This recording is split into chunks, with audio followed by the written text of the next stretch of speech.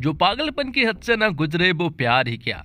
क्योंकि होश में तो रिश्ते निभाए जाते हैं। प्यार को इसी सिद्दत से परिभाषित करने वाली हसीन दिलरुबा, इश्क की एक और जुनून दास्ता लेकर फिर आ पहुँची है। पिछली बार जब वह आए थी तो उसके एक आशिक नील को जान गंवानी पड़ी थी।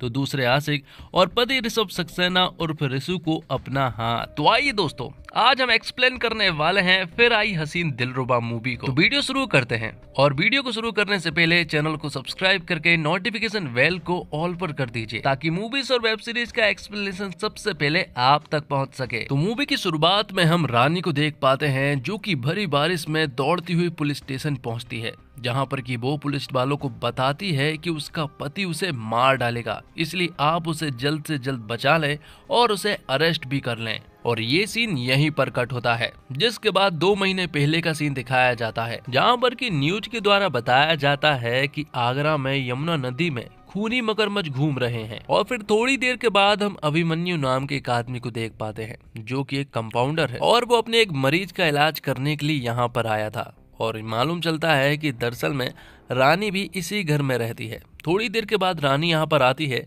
और अभिमन्यु जो है वो उसे बड़े ही प्यार से देखने लगता है। अभिमन्यु जो है वो रानी को पसंद करता है। तो वही रानी जो है वो अपने ब्यूटी पार्लर में अक्सर बिज़ी रहती है। सीधा साधा दिखने वाला अभिमन्यु जो है वो किसी न किसी बहाने से अक्सर यहाँ पर आया करता है। तो अब रानी जो है वो अपने ब्यूटी पार्लर के लिए निकल जाती है, लेकिन उसकी कुछ फेस की डमीज जो है वो यहीं पर रह जाती है। तब अभिमन्यु उन्हें देने के लिए दौड़ता हुआ रानी के पार्लर पहुँच जाता है, जहाँ पर कि उसकी हालत पूरी तरह से टाइट हो चुकी थी। यहाँ पर रानी उसे थैंक यू कहती है और बाद में उससे कहती है कि वो थोड़ी देर के बाद बात करेगी। क्योंकि उसे पार्लर में कुछ अर्जेंट काम है तो अब रानी जो है वो अपने पार्लर में बिज़ी हो जाती है। लेकिन अभी मन्यू कहीं नहीं जाता है, बल्कि रानी के पार्लर के बाहर ही बैठा रहता है। बारिश होने लगती है, लेकिन फिर भी वो वहीं पर बैठा था। रानी जब उसे इस तरह यहाँ पर बैठा हुआ देखती है तो वो तुरंत ही अभिमन्यु के पास जाती है, जिससे कि हम समझ पाते हैं कि अभिमन्यु रानी को बहुत ज़्यादा पसंद करता है। और यहाँ पर अभिमन्यु रानी को अपने साथ फ्राइडे के दिन मूवी देखने के लिए भी चलने को कहता है। रानी हाँ कह देती है, और तभी यहाँ पर एंट्री होती है रिसु भैया की, जो कि यहीं से निकल रहे होते हैं। और उन्होंने अपने प्यार को बचाने के लिए अपना हाथ तक कटवा लिया था। तो अब मालूम चलता है कि रसू ने पुलिस की आँखों में खुद को मरा हुआ साबित करके अपने प्यार रानी के साथ शहर से भागकर आगरा में लुका छुपी की ज़िंदगी जी रहा है। तो रसू और रानी हमेशा के लिए एक होने के लिए यहाँ अपनी पहचान छिपाकर अलग अलग ज़िंदगी काट रहे हैं। इनकी कोशिश है कि वे किसी तरह से थाईलैंड भाग जाए। इसलिए रिसु जो है, वो एक ट्रेवल एजेंट गुड्डू नाम के आदमी के पास जाता है। तो यहाँ पर रिसु ने गुड्डू से जुगाड़ कर लिया था। गुड्डू कहता है कि दो महीनों के बाद वो दोनों ही थाईलैंड में पहुँच जाएँगे। तो वही रिसु जिस जगह पर रहता है, उस जगह की मकान मालकिन जो है वो पूनम है। और पूनम जो है वो रिसु से प्यार करती है। और किसी तरह से उसके साथ जिस्मानी रिश्ते भी बनाना चाहती है। इसलिए रिसु जो है वो हमेशा पूनम से दूर रहने की कोशिश करता रहता है। जिसके अगले दिन रिसु जो है वो रानी से मिलता है। वो उसे ट्रेवल एजेंट गुड्डू के बारे में बताता है कि वो दो महीनों के बाद थाईलैंड पहुँच जाएँगे। तो वहीं रानी अभिमन्यु के बारे में रिसु को बताती है कि अभिमन्यु जो है वो उसके प्यार में पूरी तरह से पागल हो चुका है, जिसके बाद हम अभिमन्यु को देख पाते हैं। दरअसल में आज फ्राइडे का दिन था और आज अभिमन्यु रानी के साथ पिक्चर देखने के लिए जाने वाला था। वो थिएटर पहुँच जाता है और वहाँ की सारी टिकट भी खरीद लेता है, जिसके बाद वो यहीं पर खड़ा होकर इंतज़ार करने लगता है। लेकिन वहाँ रानी नहीं आती है। वो तो दरअसल में रिसु के साथ रंगरलिया मना रही होती है। तो अभिमन्यु को इंतज़ार करते हुए काफ़ी समय हो चुका था। नौ बज चुके थे, रानी नहीं पहुँचती है। इसलिए अभिमन्यु तुरंत ही रानी के यहाँ पर पहुँचता है।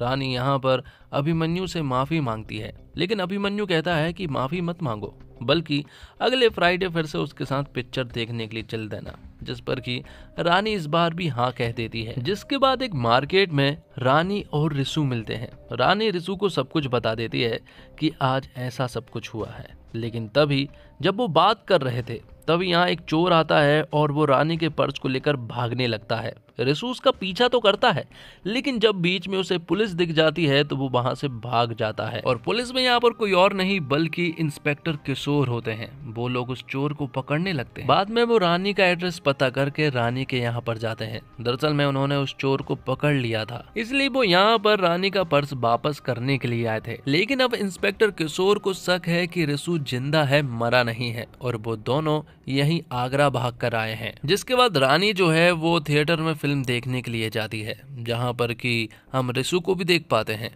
और साथ ही इंस्पेक्टर किशोर को भी। कहीं ना कहीं रिसु ने इंस्पेक्टर किशोर को देख लिया था, इसलिए वो यहाँ से भाग निकलता है। उसे मालूम चल चुका था कि पुलिस वाले जो है वो रानी का पीछा कर रहे हैं और उसके ऊपर नज़र भी बनाए रखे हैं। इसलिए वो अपने मोबाइल से सिम को निकाल कर तोड़ देता है। रानी जब उससे कांटेक्ट करने की कोशिश करती है तो कांटेक्ट नहीं हो पाता है। फिर बाद में रिसु ही रानी से कांटेक्ट करता है। वो उसे बताता है कि पुलिस वाले जो है वो उनके पीछे पड़े हुए हैं और हर जगह पुलिस वाले फैले हुए हैं क्योंकि पुलिस वालों को हमारे ऊपर शक हो गया है। और ऐसा भी हो सकता है कि पुलिस वाले अगले दिन तुम्हें पुलिस स्टेशन बुलाए। जैसा कि रिसू ने कहा था, पुलिस वाले यहाँ पर रानी को पुलिस स्टेशन बुला लेते हैं, जहाँ पर कि इंस्पेक्टर किशोर जो है, वो रानी से पूछताछ कर रहा था। वो रानी से कहता है कि हमने तुम्हारी कॉल हिस्ट्री को निकलवाया है। पता किया है कि तुम एक लड़के से काफ़ी देर तक बात करती हो। आखिर वो है कौन? रानी बताती है कि वो उसका दोस्त है और तभी यहाँ पर एंट्री होती है एक और पुलिस वाले की और उसका नाम होता है मृत्युंजय। वो रानी को बताते हैं कि इस केस को अब बो संभालने वाले हैं। और साथ में बो रानी को ये भी बताते हैं कि नील उसका भतीजा है और मैं उसका चाचा हूँ। तो बो रानी से कहते हैं कि अब ये केस जो है वो पर्सनल हो चुका है। और उसकी एक गंदी आदत है कि वो किसी के भी पीछे जब लगता है ना तो वो हाथ धोकर पीछे पड़ जाता है। वो बताते हैं कि रिसु भी उसे बहुत अच्छे से जानता है। पूछना कभी उससे कि मोन्टू चाचा कौन है। लेकिन फ़िलहाल तो मोन्टू चाचा रानी से कॉल हिस्ट्री के बारे में पूछते हैं कि आखिर वो घंटों तक किससे बात करती रहती है? और तुम जिससे बात करती हो, वो अक्सर ट्रेवल एजेंट के पास क्यों जाता रहता है? लेकिन रानी कहती है कि उसे कुछ भी नहीं मालूम है। तब मोन्टू चाचा कहते हैं कि हमें बहुत अच्छे से मालूम है कि रसू जो है वो यहीं पर है और वो ज़िंदा है और वो उन्हें पकड़ कर रहेंगे। तो अब रानी जिस जगह पर रहती है, उसी जगह के आसपास पुलिस वाले जो है वो रिसु के बारे में पूछताछ करना शुरू कर देते हैं। यहाँ पर रिसु को भी बहुत अच्छे से मालूम चल गया था कि पुलिस वाले उसे ढूंढ रहे हैं। एक दिन रिसु देखता है कि ट्रेवल एजेंट गुड्डू को भी पुलिस वालों ने अरेस्ट कर लिया है। जो उन्हें थाईलैंड पहुँचाने वाला था, अब वो खुद ही पुलिस स्टेशन में पहुँच चुका है। अब पुलिस वाले रिसु को ढूंढते हुए पूनम के यहाँ पर पहुँच जाते हैं, जो कि रिसु की मकान मालकिन है। यहाँ पर पूनम तुरंत ही रिसु के पास पहुँचती है और वो कहती है कि पुलिस वाले उसे ढूँढने के लिए आए हैं। क्या वो तुम्हें ही ढूंढ रहे हैं? जिस पर कि पूनम समझ जाती है कि वो कुछ छिपा रहा है। इसलिए पुलिस वालों के सामने जाकर कह देती है कि वो इस आदमी को नहीं जानती है। और तब पुलिस वाले यहाँ से चले जाते हैं। पूनम ने पुलिस वालों को शायद इसलिए कुछ नहीं बताया क्योंकि जो पूनम को चाहिए है, शायद वो अब उसे मिल जाए। तो वही रात होते ही रिसु जो है, वो रानी के घर पर घबराता हुआ जाता है और वो रानी को बताता है कि सब कुछ खत्म हो चुका है। जो उन्होंने भागने का सपना देखा था, ज़िंदगी जीने का सपना देखा था, वो पूरी तरह से खत्म हो चुका है। गुड्डू ट्रेवल एजेंट वाला जो है, वो पकड़ा गया है और मोन्टू चाचा जो है, वो उनके पीछे हाथ धोकर पड़े हैं। वो मोन्टू चाचा को बहुत अच्छे से जानता है कि वो एक चीज़ के पीछे पड़ जाते हैं तो वो अच्छे से ही पड़ जाते हैं। रिसु कहता है कि वो सरेंडर कर देगा और तभी नीचे से किसी की आवाज़ आती है। दरअसल में वहाँ पर अभिमन्यु होता है। और तभी यहाँ पर रानी के दिमाग में एक आइडिया आता है। और वो रिसू से कहती है कि अगर ये प्लान सक्सेसफुल हो गया तो पुलिस वाले तुम्हें कभी भी नहीं ढूंढेंगे और वो आराम से यहाँ से निकल जाएँगे। तो अगले फ्राइडे अभिमन्यु और रानी फ़िल्म देखने के लिए जाने वाले थे। अभिमन्यु थिएटर के बाहर रानी का इंतज़ार कर रहा था तो रानी यहाँ पर पहुँच जाती है और उसे देखकर अभिमन्यु खुश हो गया था। साथ ही यहाँ पर रानी ने अभिमन्यु को शादी के लिए भी प्रपोज कर दिया था, जिस पर कि अभिमन्यु तो पूरी तरह से हैरान रह चुका था। दरअसल में यही रानी का प्लान है कि वो पुलिस वालों को डिस्ट्रैक्ट करने के लिए अभिमन्यु से शादी कर ले, लेकिन ये चीज़ कहीं ना कहीं रिसु को अच्छी नहीं लगी थी। उसने रानी को समझाया भी था कि उसे ऐसा नहीं करना चाहिए, लेकिन अगले तीन दिन के बाद यहाँ पर अभिमन्यु रानी की शादी थी। दोनों की शादी हो जाती है और यहाँ पर रिसु भी मौजूद था। कहीं ना कहीं रिसु को बहुत ज़्यादा बुरा लग रहा था कि उसी के आँखों के सामने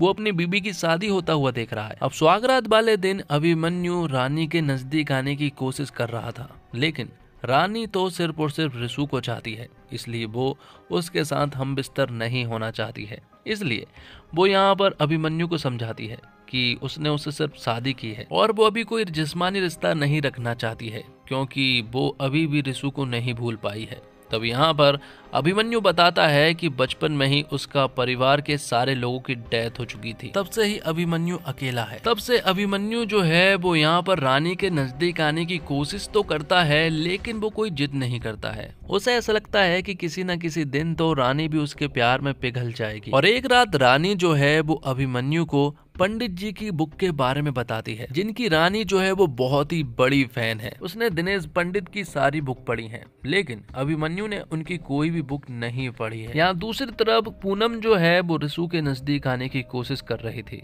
और जब वो पास आ रही थी, तब दूर से रानी ने सब कुछ देख लिया था। जिसके बाद यहाँ पर रिसु जो है वो दौड़ता हुआ रानी के पास आता है। वो उसे समझाने की कोशिश करता है कि पूनम जो है वो उसके पीछे पड़ी हुई है और उन दोनों के बीच में कुछ भी नहीं है। लेकिन यहाँ पर रानी जो है वो रिसु को एक दो बात सुनाकर अपने घर पहुँच जाती है, जहाँ पर की वो बहुत सारी शराब पी लेती है और नशे की हालत में रात को वो अभिमन्यु को सब कुछ बता देती है। जाने अनजाने में यहाँ पर रानी ने अभिमन्यु को बता दिया था कि रिसु ज़िंदा है। उससे पूनम प्यार करती है और धोखा तुम्हें मिल रहा है। और ये सारी बातें तो अभिमन्यु के डायरेक्ट दिल पर लगी थी। अगली सुबह जब होती है तो यहाँ पर अभिमन्यु रानी से रिसु के पास कॉल करके मिलवाने के लिए कहती है। रानी ऐसा ही करती है। तब वो लोग एक मेले में मिलते हैं, जहाँ पर कि झूले पे बैठकर वो सभी लोग बात कर रहे थे। अभिमन्यु बताता है कि वो उनकी मदद करेगा और थाईलैंड जाने में वो उनकी पूरी तरह से हेल्प भी करेगा। रिसु कहता है कि तुम्हें धोखा मिला है, इसके बावजूद तुम हमारी मदद क्यों कर रहे हो? जिस पर कि अभिमन्यु कहता है कि किसी न किसी दिन तो रानी का तुमसे मन भर जाएगा। उसके बाद कहीं ना कहीं उसे उम्मीद है कि वो उसके ही पास आएगी। ये बातें सुनने के बाद रिसु को कहीं ना कहीं लग चुका था कि अभिमन्यु जो है वो ठीक इंसान तो नहीं है। इसके बावजूद वो उसकी मदद लेते हैं। और अभिमन्यु रसू को एक क्लिनिक ले जाता है, जहाँ पर कि वो पुलिस से बच सकता है और यहाँ पर सेफली रह सकता है। वो कहता है कि दो दिनों के बाद वो उनके पासपोर्ट और टिकट्स का इंतज़ाम कर देगा और वो उन्हें थाईलैंड पहुँचा देगा। तो यहाँ से अभिमन्यु के जाने के बाद तुरंत बाद ही पूनम आती है। पूनम को यहाँ का पता लग चुका था, क्योंकि वो उसका पीछा कर रही थी। यहाँ पर रिसु जो है वो पूनम को किस करता है और वो उससे कहता है कि वो उससे एक महीने के बाद मिलेगा। ये सुनने के बाद तो पूनम खुशी खुशी यहाँ से चली गई थी। उसके जाने के तुरंत बाद ही यहाँ पर लल्लन नाम का एक आदमी आता है। ये कौन है? थोड़ी देर में पता लग जाएगा और उसके जाने के तुरंत बाद आता है अभिमन्यु। अभिमन्यु यहाँ पर रसू को खाना देने के लिए आया था। जिसके बाद वो दोनों बात करने लगते हैं और उन दोनों की बातों से रिसु को मालूम चलता है कि अभिमन्यु जो है वो रानी के प्यार में पूरी तरह से पागल है। और अभिमन्यु रिसु को यहाँ पर बताता है कि एक ज़मीन के सिलसिले में उनकी उनके चाचा से लड़ाई हो चुकी थी। जिसमें उसने उसके पूरे चाचा के परिवार को खत्म कर दिया था। साथ ही यहाँ पर अभिमन्यु को एक बात और मालूम चल चुकी थी कि यहाँ पर कोई ना कोई तो ज़रूर आया है। और जब रिसु को मालूम चलता है कि अभिमन्यु बिल्कुल भी ठीक इंसान नहीं है, तब यहाँ पर रिसु जो है वो अभिमन्यु के ऊपर हमला करने की कोशिश करता है। लेकिन अभिमन्यु यहाँ पर रिसु के ऊपर एक भारी चीज़ गिरा देता है और उसे यहीं पर लॉक करके भाग जाता है और फिर वो रानी को लेकर यमुना नदी को घुमाने के लिए ले जाता है। यहाँ पर वो रानी से कुछ बातें कहता है कि आज तक जिन लोगों ने भी उसे धोखा दिया है, उन लोगों को उसने कभी भी माफ़ नहीं किया है। और साथ ही अभिमन्यु अपने बारे में भी कुछ चीज़ें रिवील करता है। वो बताता है कि उसने तो अपनी फैमिली को भी नहीं छोड़ा है। मतलब कि यहाँ पर अभिमन्यु ने अपनी फैमिली को भी खुद ही मारा था। वहाँ दूसरी तरफ़ रिसु जो है, वो उस जगह से बाहर निकल आया था। और रात को हम अभिमन्यु और रानी को देख पाते हैं। और अभिमन्यु के घर पर ही हम दिनेश पंडित की बहुत सारी बुक को देखते हैं, जिससे कि हमें मालूम चलता है कि अभिमन्यु भी दिनेश पंडित का बहुत बड़ा भक्त है और उसने भी दिनेश पंडित की सारी की सारी बुक पढ़ रखी है। तो प्लानिंग क्या करनी है? रानी जो है वो उसी बुक के आधार पर करती है। लेकिन अब अभिमन्यु को उन बुक के बारे में सब कुछ मालूम है। तभी यहाँ पर अचानक से अभिमन्यु उसके सर पर वार करता है, जिस वजह से रानी का सर जो है वो टेबल से टकरा जाता है। जिस वजह से हमने रानी को फ़िल्म की शुरुआत में पुलिस स्टेशन में आता हुआ देख पाए थे, जहाँ पर कि वो पुलिस वालों से कह रही थी कि उसका पति उसे जान से मार देगा। और यहाँ पर रानी ने उन्हें बता दिया था कि रसू ज़िंदा है।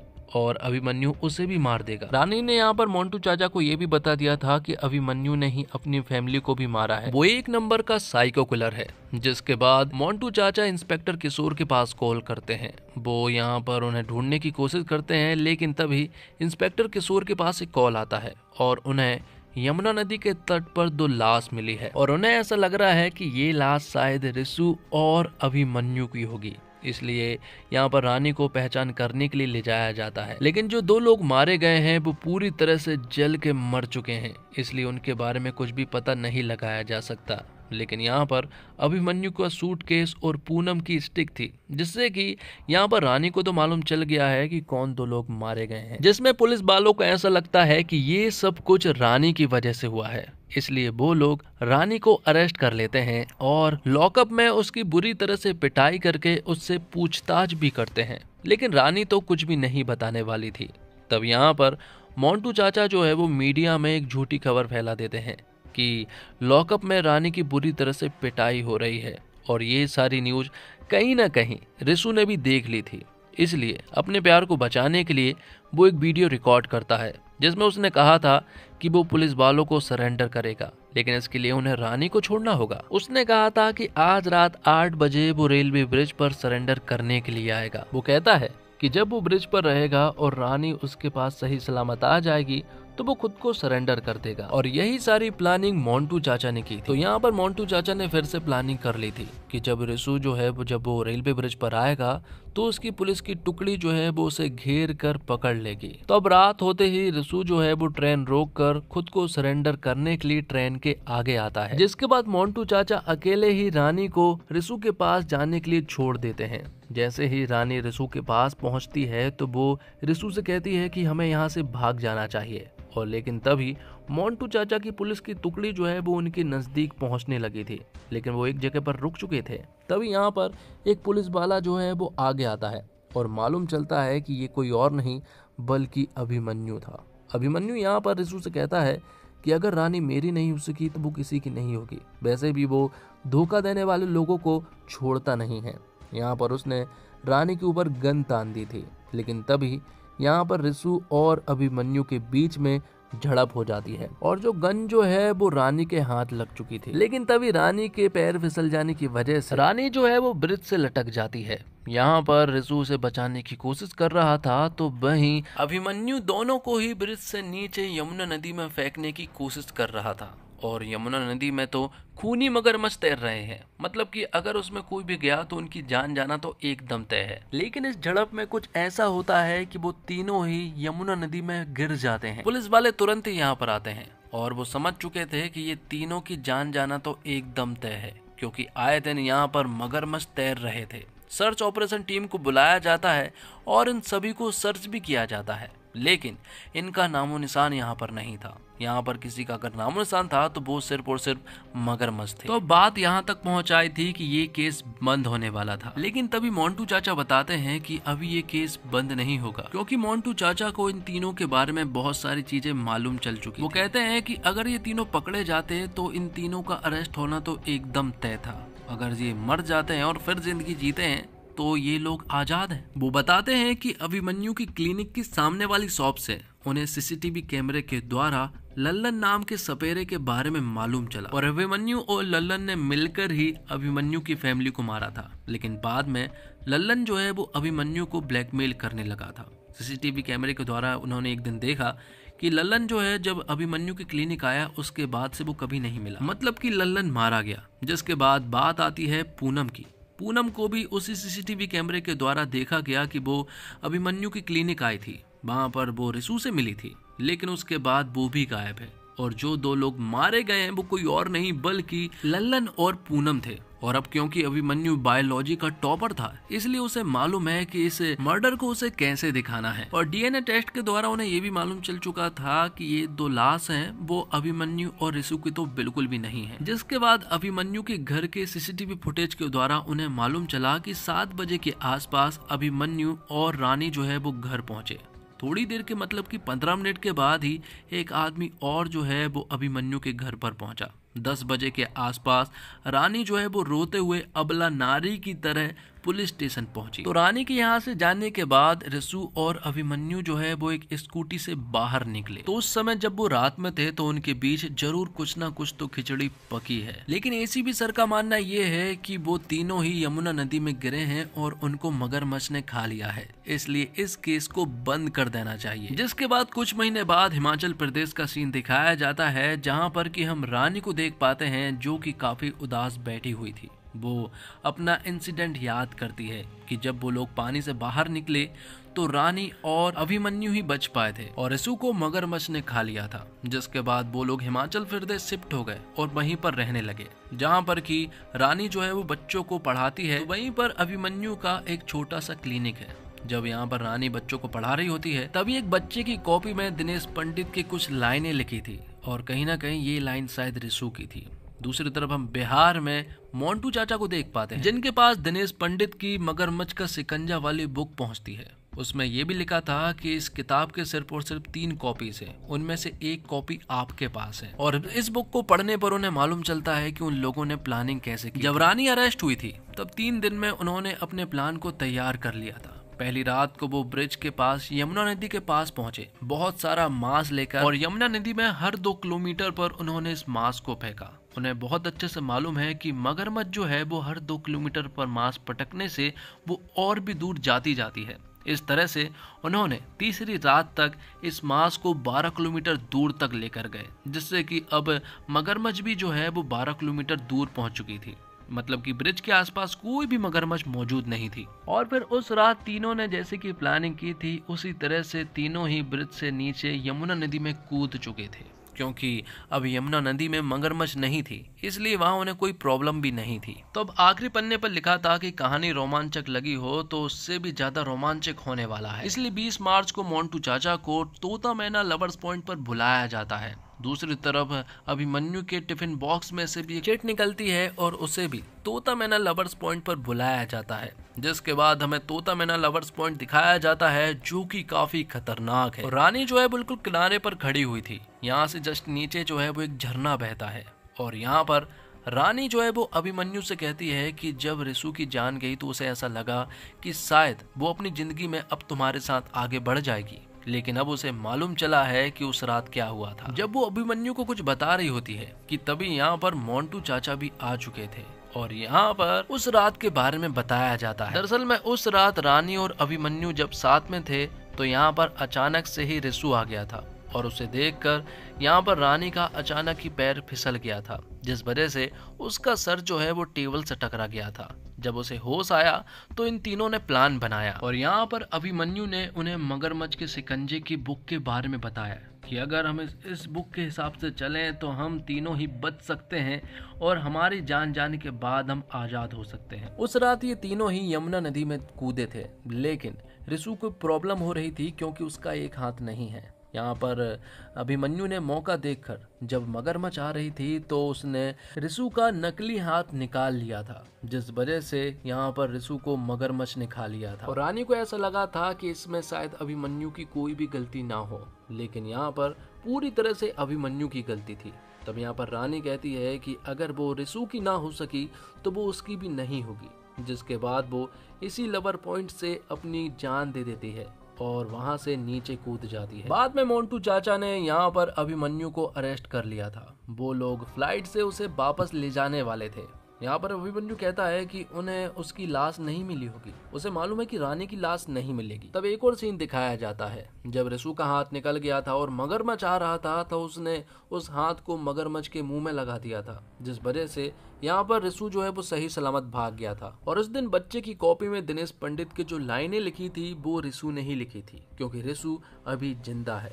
बाद में मालूम चलता है कि इस लवर पॉइंट से उस झरने के द्वारा रानी जो है वो नीचे तो गिर गई थी, लेकिन वो मरी नहीं थी क्योंकि वो ज़िंदा थी। वो यहाँ से नदी के द्वारा जो है वो कोने पर आ जाती है और कोने पर उसे रिसु मिलता है और एक बार फिर से वो दोनों एक हो जाते हैं। जब यहाँ से अभिमन्यु को मोन्टू चाचा वापस ला रहे थे, तब एक और चीज़ रिवील होती है। और मालूम चलता है कि दिनेश पंडित दरअसल में अभिमन्यु के पिताजी हैं। और इसी के साथ ये वीडियो यहीं पर खत्म होता है। तो दोस्तों, उम्मीद करता हूँ आपको वीडियो पसंद आई होगी। वीडियो पसंद आई हो तो चैनल को सब्सक्राइब करके नोटिफिकेशन बेल को ऑल पर कर दीजिएगा, ताकि आपके पास वेब सीरीज़ और मूवीज़ का कंटेंट सबसे पहले आप तक पहुँच सके। मिलते हैं एक और कमाल की वीडियो के साथ। तब तक के लिए आप हमारे चैनल के साथ बने रहिए। धन्यवाद। जय हिंद, जय भारत, जय श्री राम।